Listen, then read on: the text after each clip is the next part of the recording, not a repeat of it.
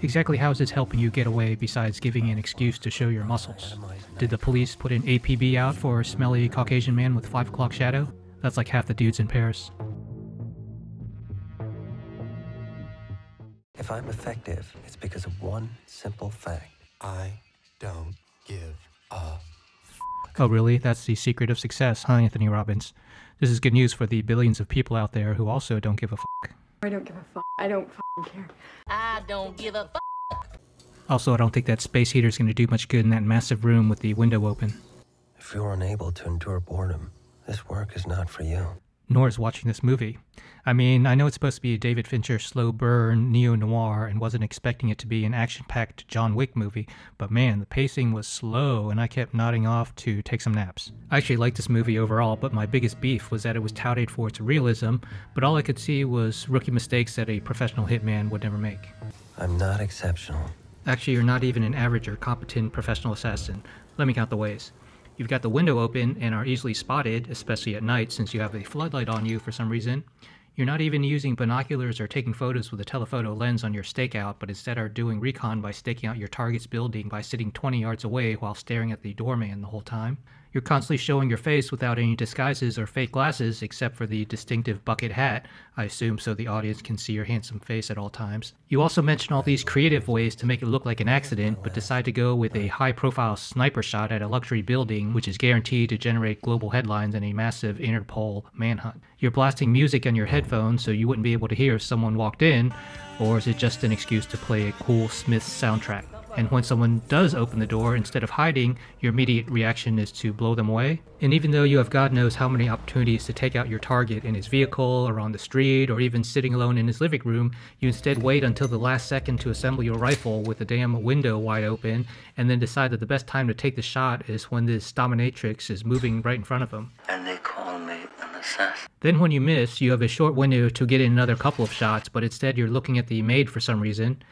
Even after he pulled the curtains, he was still visible, but instead you just give up and bolt. That's some real professional stick-to-itiveness. By the way, for a guy concerned so much about his health, maybe lay off the McDonald's. Or was it just for some more of that sweet, sweet product placement that's all over this movie?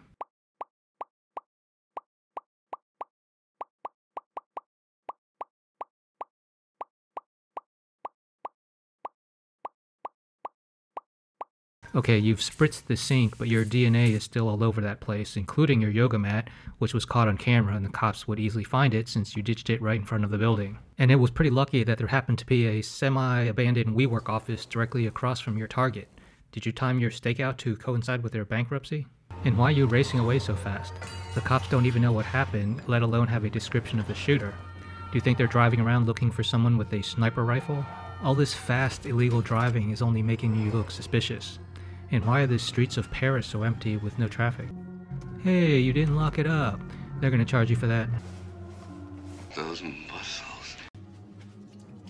His muscles are number one. A trained assassin always expertly covers his tracks and knows that the best place to toss a pistol is in front of an airport with a million people and cameras everywhere, instead of wiping it down inside the taxi and putting it inside a bag. And I don't think spritzing it erases your fingerprints. Okay, you're home free. Just act normal. If you see a police dog, don't freak out and jump out of line looking all suspicious or anything. Do you think they trained that dog to sniff out hitmen who recently sniped someone from a building? For professional, you're kind of a squirrely little bitch. And wearing sunglasses indoors also doesn't look suspicious at all. If it was LAX, at least you could blend in with all the douchebags. I like how they're conducting all this super secret business on cell phones instead of a secure messaging app with a VPN. Uh oh, is this dude an undercover Interpol agent? CIA? Mossad? Oh, you. He's just gay. Ha ha ha, he's using famous sitcom characters as aliases. Yeah, that should help you not draw any attention and avoid any heat. Yes, detective, I distinctly remember this guy because his name was Sam Malone. Why don't you wear a trademark ironic hipster t shirt while you're at it? Okay, that's actually a pretty good tip, and I'm gonna use that the next time I'm on the lam.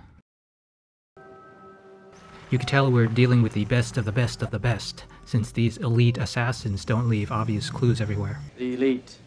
Best of the best. It's a little strange to me that this rich, savvy, and paranoid operator didn't invest in any home security system with cameras at his gate or all around his house. And apparently, best practices among pros is to leave the keys in your car with the lights on and to not worry about carrying an extra clip of ammo. Oh, look, you can tell he's an elite operator just by the way he's handling that pistol. If you watch SEAL Team 6 operators train, they usually only use one hand, with their free hand just hanging limp for no reason. I heard the best of the best were going to be back here. And when they clear a room, they also suggest just running into rooms without any cover.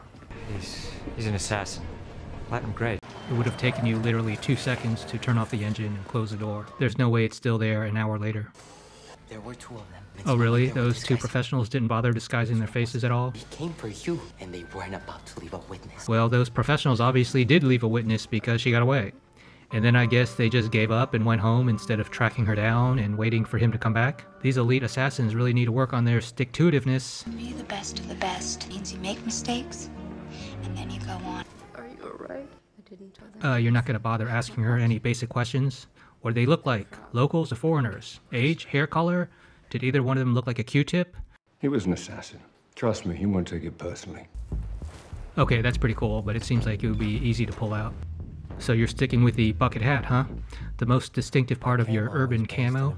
By now, Interpol has circulated photos of you wearing that same hat all over Paris, and now it's all over social media and CNN. So some sketchy looking rando shows up at night at this taxi company, and instead of asking him what the f wants, he just gives prayer hands and he just opens the door? Yeah, he just saw your face and there's probably cameras everywhere, so what are you even doing? I guess you gotta off him now. I could have walked into that place with 20 bucks and got the exact same information instead of committing multiple felonies and risking a shootout. And why do you gotta be a dick about it? Okay, this scene makes no sense. He was tailing him in this taxi, and later we find out that he stashed his Jeep next to this empty lot. But how the hell did he find him again if he drove cross town to park his Jeep and then hailed a taxi to somehow relocate him? Never yield an advantage. How do I tell them that because of the unfreezing process, I have no inner monologue? The assassin is now going to kill me. Tell me about your big Fairley 03 How long have you ago. been living in the DR that you never bothered to learn any Spanish? Good thing this taxi driver speaks perfect English so American audiences don't have to read any subtitles. You can tell that the two assassins were pros because instead of taking their own car, they rented a taxi for the whole day with an eyewitness that puts them at the scene of the crime. So after all that risk and effort, he ends up icing this poor driver, and the only intel he got was that the woman looked like a Q-tip and the guy was a scary-looking motherfucker with a bloody leg. No other details. Again, he could have gotten all that information with a $20 bribe, or better yet, he could have gotten it all for free just by asking his girlfriend. Yeah, the sunglasses at night inside an airplane really helps you blend in as a normie. It's a good thing none of those self-storage places have security cameras and the police don't use any automatic license plate readers to detect stolen or unregistered plates. So the building security is watching this all and they didn't notice that this random dude who was sitting in his van all day is trying to sneak into their building. Wait a minute, this building only has three maintenance guys. Who the f is this guy? Hey Lou, did we outsource our recyclable collection to an outside vendor? Should we at least track this guy in our cameras in the elevator and hallways? Nah, he's got a name tag, so he's legit. This operation is just like the one in John Wick because they use the same security protocols. A slow closing glass door manned by an inattentive executive assistant. Instead of ambushing Hodges at home or on the street, he goes through this high risk Mission Impossible operation. What do you call it when the assassins accuse the assassin? Years. I know. Yeah, there's no way he would put that information on the cloud, so it's probably on that laptop. Oh, never mind. Good job, moron. He must have learned this technique in Assassin University. When trying to get information, the best way is to nail gun them three times in the chest so they are alive for six or seven more minutes. And that estimated time to death is from his class called Advanced Interrogation Techniques Nail Guns, Body Weight, and Mortality 201. Stick to the plan. Anticipate, don't improvise. Maybe we can get a break from Jake's obsessive inner monologue. Oh, now you pull down the blinds? Also, there would be gallons of blood all over the place. But promise me you won't leave things looking the wrong way. People have died here. The wrong way. Need any help getting rid of that body? Ha ha ha, yeah, that seems like totally normal New York City elevator banter. Is this movie set in an alternate universe where ring security cameras haven't been invented yet? Because if any of these neighbors on his stakeouts have them, he's totally screwed.